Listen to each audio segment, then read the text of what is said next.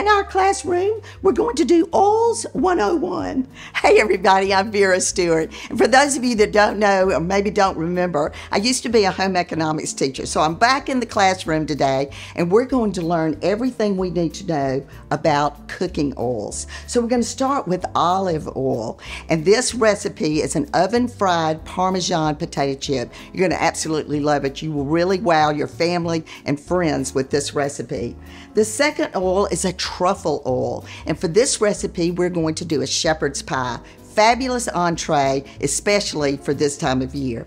And then finally, peanut oil. And these chicken wings just plump up. I think you'll really love this recipe too. And in Vera's Corner, just because we're through in the classroom doesn't mean I don't have a homework assignment. So we're going to talk about some other oils there. So I'm ready to get my apron on and get out of the classroom. So I hope you'll join me. Here we go.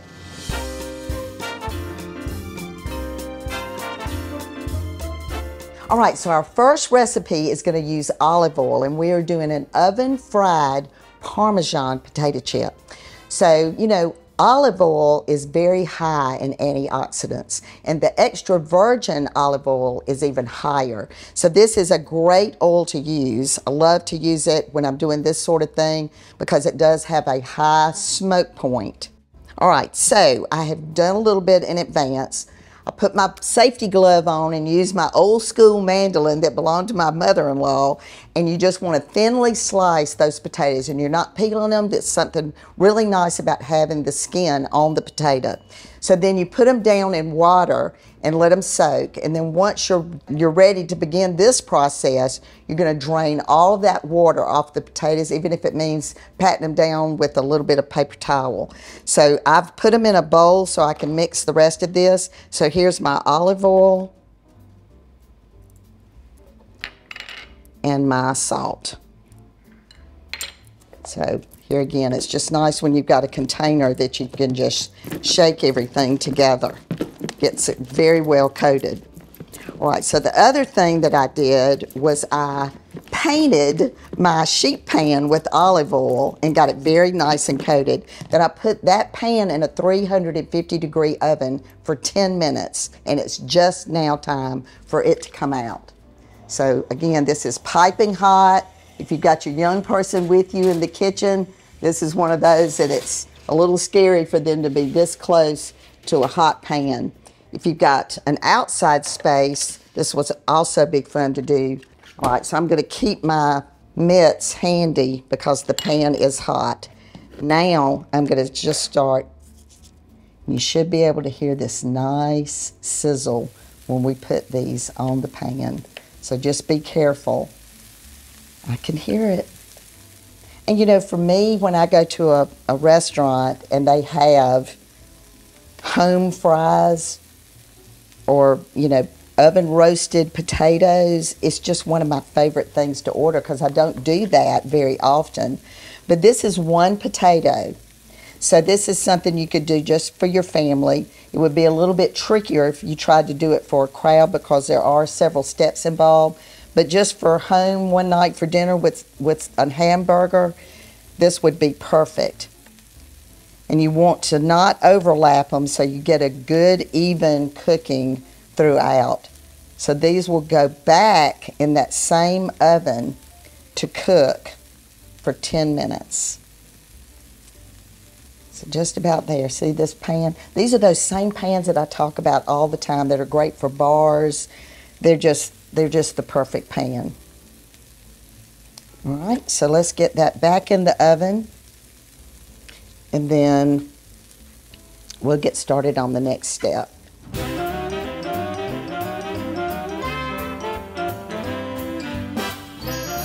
All right, so these have been in the oven for 10 minutes. Let's take them out and we'll start the next process. Ooh, they're just a sizzling. Love it. All right, I've got my favorite little OXO spatula that's nice and skinny. And you can use tongs, but I've found that it works better for me if I use this little spatula. So basically all we're doing is making sure both sides get good and coated. Don't you love the look of that? So I will keep getting these flipped over and they'll go in the oven for an additional eight minutes. Then when they come out, you're going to transfer those to a paper towel lined baking sheet so that can absorb some of the excess oil. And then that's when you can start with all your garnish, the Parmesan cheese, and I've got some low country kettle different seasonings that they left with me. You might remember they were on the show last season. They were just great. I love to use their seasonings. So we will finish this, and then when we come back from the break, we're going to get started on that shepherd's pie.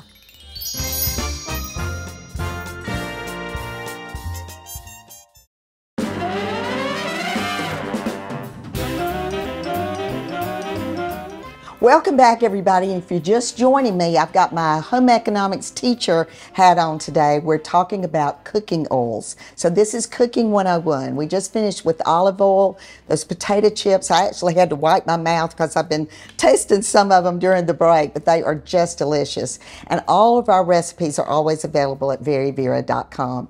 I also want to point out my apron today. You know, this is our 12th season, and I will never forget our first episode where I put this apron on for the very first time. A little, you know, it's just a little nostalgic to me to just think about how far we've come with our programming, and it's all thanks to all of you. All right, so we are ready to start on this shepherd's pie, and all we're doing now is truffle oil. So this is actually an olive oil with truffles in the oil. If the idea of truffle oil does not appeal to you, just use olive oil for this recipe instead. So we had a little bit to do in advance, and this is where the fresh market comes in so handy for us.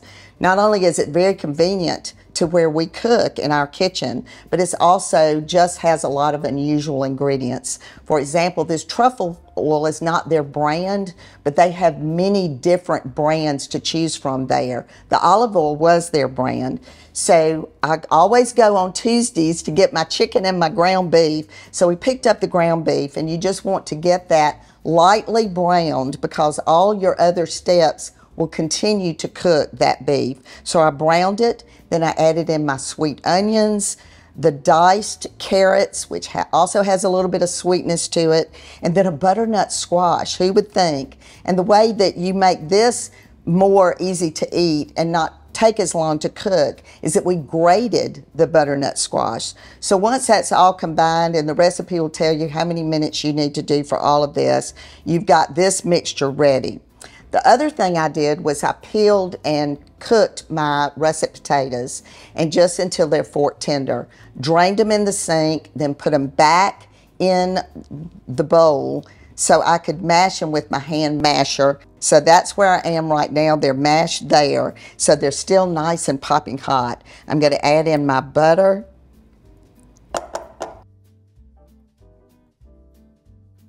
I'm going to revert to my hand mixer and get started with this process. And that butter will just start melting away. Now I'm going to add in my half and half. And you can use cream if you like, but I'm going to use half and half today. I'm going to put about half of this in because, you know, potatoes are not an exact weight or amount. You're just picking them up, you know, from the counter. So you don't want to have too many. But you also want to remember that they will continue to absorb the half and half as they cook. So I'm probably going to need every bit of this.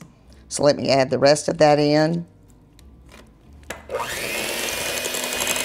And then we've got the truffle oil that's going to go into the potatoes as well.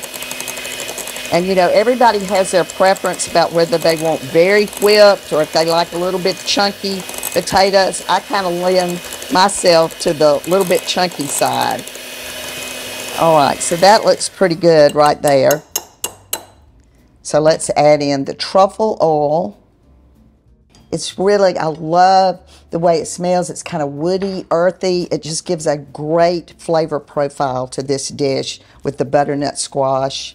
So I've got my Parmesan cheese, and you can pick this up already grated in the deli at the fresh market. I'm going to put a little more than half of that into the potatoes. And then look at my cute little cast iron skillets. I mean, you can make this in a casserole dish, but if you really want to get fancy, you can pick these up. They're not very expensive, but it just really makes for a great look. So let's add, you're going to put about, fill these up about halfway with your ground beef mixture. And I prepared these pans too with a little bit of cooking spray. And I just think this dish is so colorful. It's just great for this time of year. Then we'll put the potatoes on the top. So let me come back to that one and get these potatoes. So I've just put a nice heaping amount on the top and then I've got my little spatula so I can smooth it out. All right, so we'll get these in the oven topped with a little bit more of the Parmesan cheese and then a little sprinkle of that truffle oil to get that good flavor on that first bite. And when we come back from the break, we're going to get started on chicken wings, which are everybody's favorite, that we're going to use peanut oil. So come back with me in just a few minutes.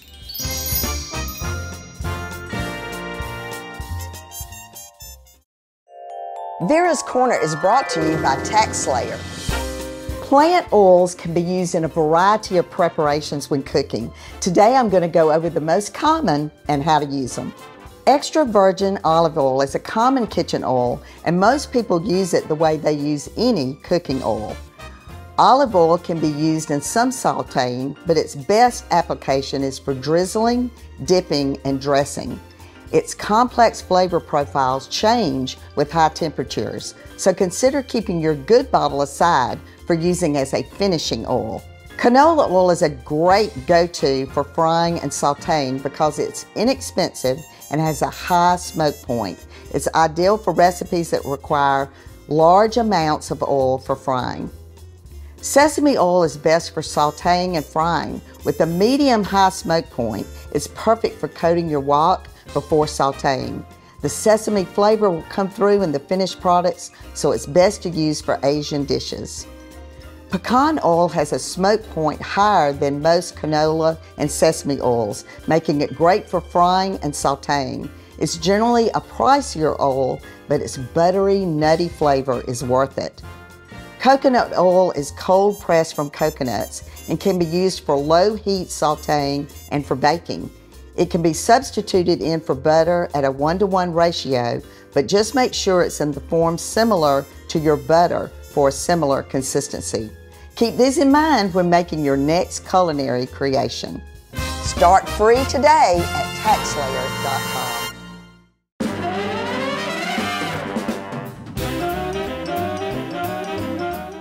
Welcome back, everybody, and I hope you enjoyed Vera's Corner. You know, I'm in the classroom today with all of this education about cooking oils. But one last tip I want to give you is be sure to look at the expiration date because it may have expired and you're not going to pick up on that right away, but you'd be able to notice it in your recipe.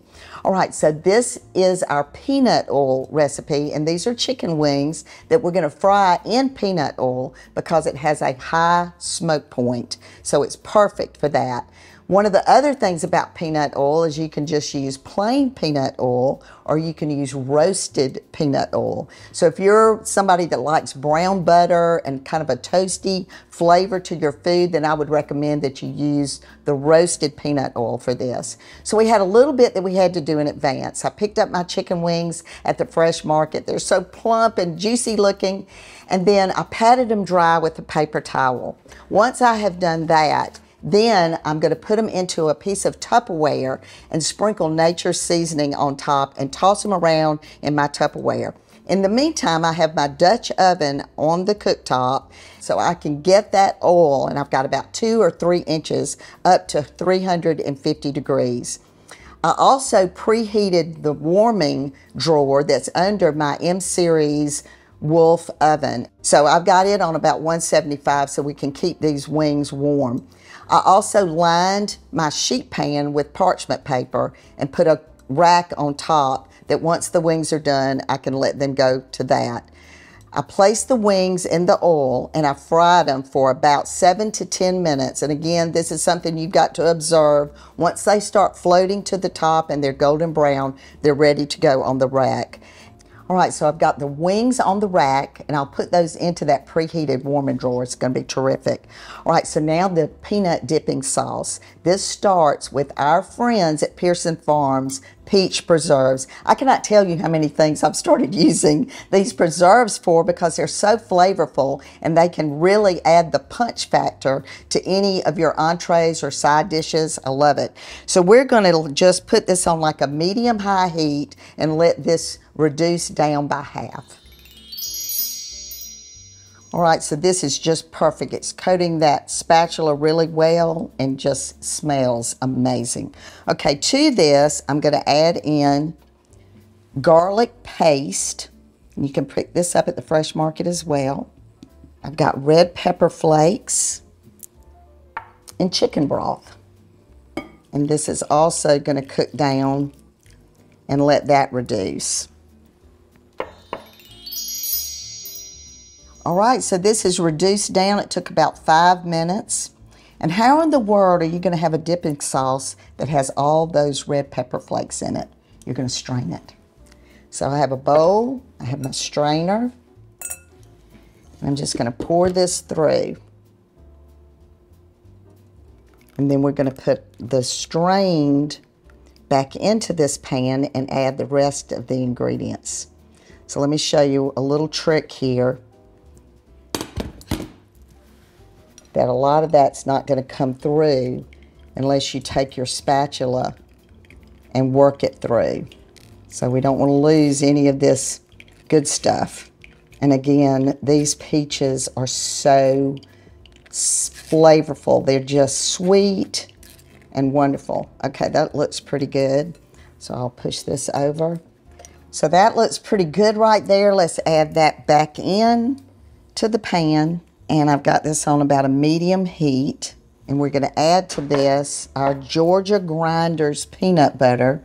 We use this a lot throughout the season in recipes that call for peanut butter. It's just delicious. We've got soy sauce and cilantro. So we'll get this combined. And then when we come back from the break, we're going to have a presentation that you're really going to love on how you can make this your own. And we're going to give you some great ideas. So come back with me in just a few minutes.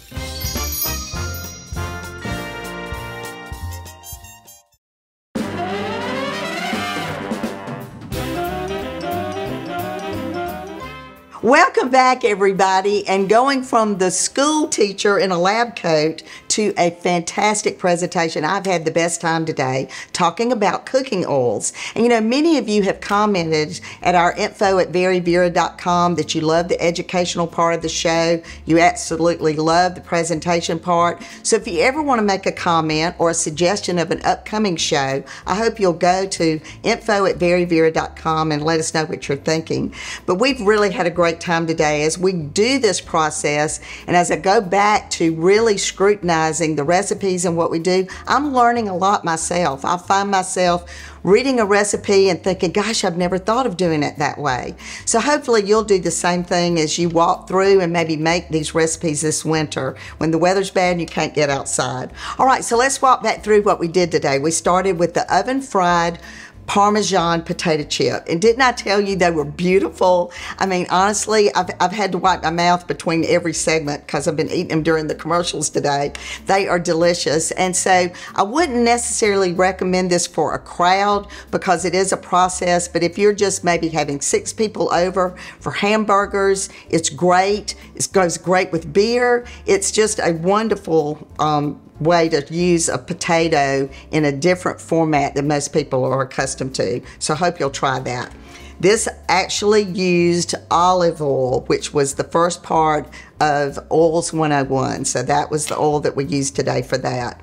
The next recipe that we did used truffle oil, and that is the shepherd's pie.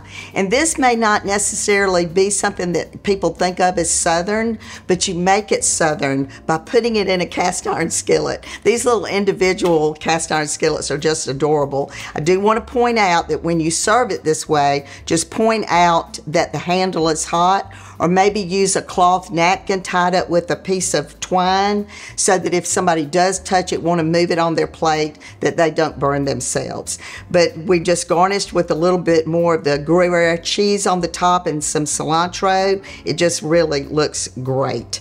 You know, even showing it on the cooling rack is a great feature all right, then finally the chicken wings. And you thought we were just going to show you wings today. We're showing you an amazing presentation with those wings. So they can be served, and this used our peanut oil because it has a high smoke point. And so you can cook deep. You can cook it for the, you know, seven to 10 minutes that it takes to get them done. And the, the oil doesn't burn while you're doing that. So we've got two different ways to present today. You can use them just as they are just as they came out of the oil and out of the warming drawer, or you can coat them with the peanut sauce that we make and have a sticky wing. But just look at this veggie tray. It's just got everything from heirloom tomatoes to heirloom carrots, snow peas, uh, radishes are really great on something like this. We've got our dipping sauce that we made in one of the vessels, but then we just ran into Fresh Market and picked up their honey barbecue for the second dipping sauce. So I hope you'll try the recipes, veryvera.com. But better than that, I hope you'll come back and join me again next week. And remember that no matter what you do, do it in good taste. I'll see you next week.